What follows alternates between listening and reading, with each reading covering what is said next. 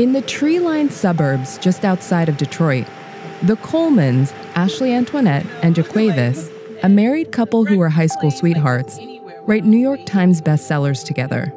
We don't like to let great ideas escape us.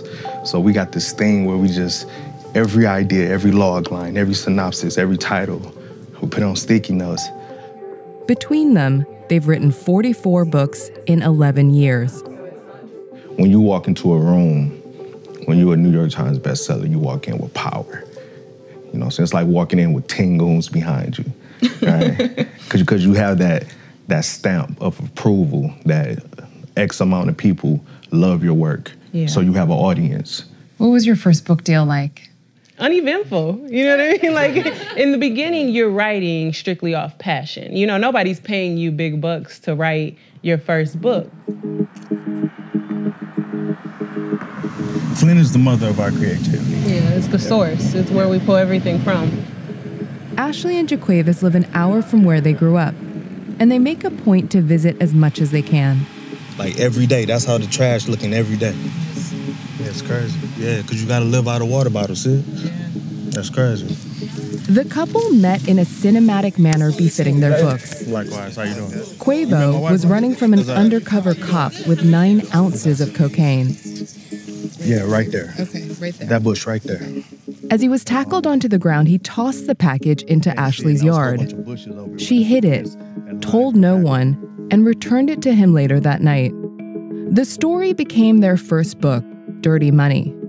Their subsequent novels, thrillers, and sprawling crime sagas aren't unlike your usual best-selling fare, yet they're designated as urban or street lit. What do you think about the moniker like street lit? It is what it is. I know street literature, it gets a black eye, right? Because we writing about these seedy underworlds and the black market. But really, the only thing we're doing is holding up a mirror. So it kind of hurts when you see the truth. So they frown on it because they don't understand. And it's, sometimes it's kind of hard to digest. This was the thing about reading books. There were no characters that looked like us. Like we came up on he loves John Grisham, and I was reading like as a very young girl, like the Sweet Valley High books, and Right. I was escaping this world, this violent, gritty city that I was in. I was reading about the white picket fences, but those girls didn't look like me. They didn't talk like me. They didn't have a mama like mine. You know, Yeah, none of that. Aryan. exactly. I couldn't relate to any of that. So when we decided to write, we wanted to write what was real to us. We wanted to write about faces like ours, about circumstances like ours. At what point do stories created by African Americans about African Americans get to just be stories?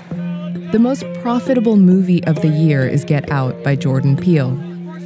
Shonda Rhimes and Lee Daniels are kingmakers. With a devout fan base and prominent placement at major booksellers, it's no wonder that the Colemans are being tapped for TV.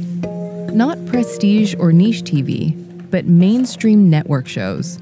We signed a deal with uh, NBC Universal, and we signed a deal with Warner Brothers. So we'll be creating for television.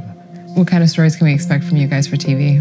We're writing family shows, we're writing um, YA shows, we're writing, of course, a street show, which is phenomenal. Yeah, we're writing science fiction. So we're not limiting ourselves at all. That's the beauty about Hollywood. It takes us off a leash.